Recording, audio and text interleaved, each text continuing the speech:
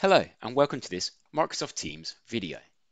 In this video, we're going to be having a look at how we can make sure that people are being invited as attendees and receiving a email invite through meeting in channels. Working with some customers recently, we come to realize that when they were doing a meeting in channel option, not everyone was being sent an email invite to that meeting. So we can check within Office 365 at how that process works. So let's take a little dive in now and take a look at how we can make sure that we are including everyone within our meeting invites when we meet in a channel. So here we are in my calendar in Teams. What I'm going to do is I'm going to schedule my new meeting and I'm going to put it into my channel. So I go to my new meeting and then I'd put in my usual title of my meeting.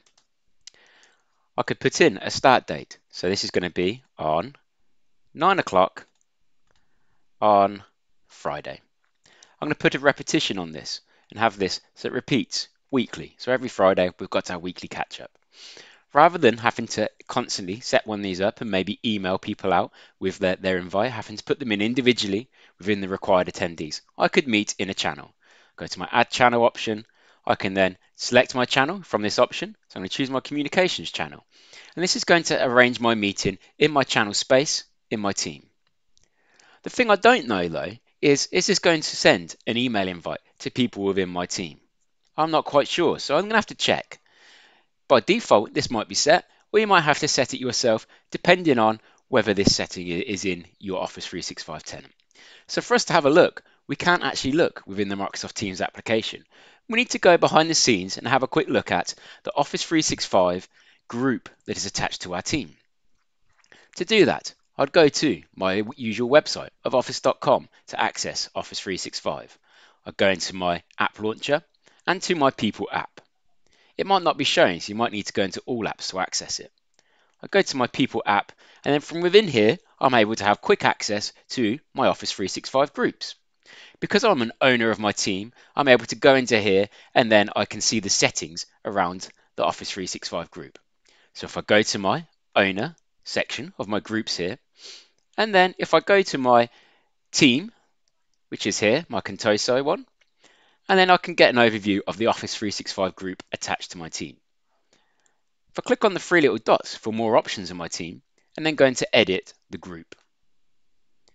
In this area, I can see whether my group now has that setting that is ticked for send all group conversations and events to members' inboxes.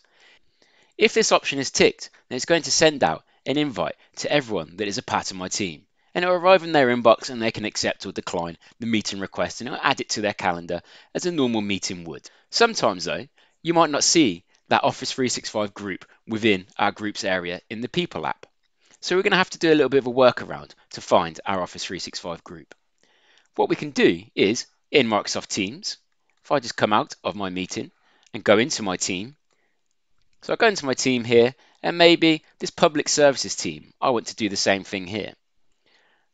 If I go behind the scenes to view my SharePoint area, so I go to my general channel, go to my files location, and then open in SharePoint, it's going to take me to that SharePoint site that is attached to my team.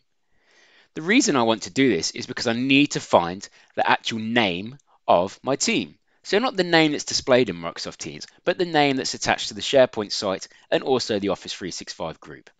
If I look at my web address at the top here, I can see that it's got my domain.sharepoint, which is showing me it's um, the SharePoint site.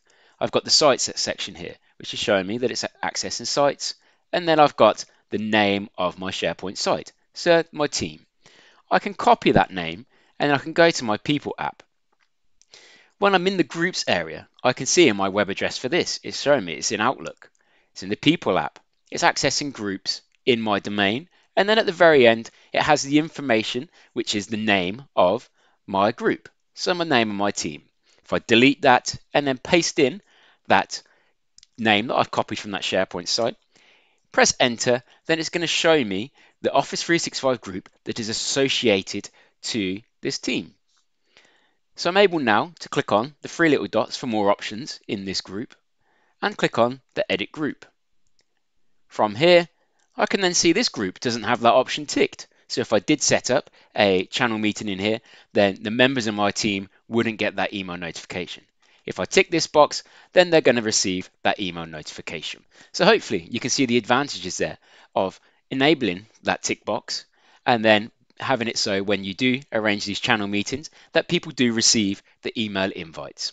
This can be done behind the scenes by an Office 365 administrator, but you as an owner of a team have the ability to go in and change these settings yourself.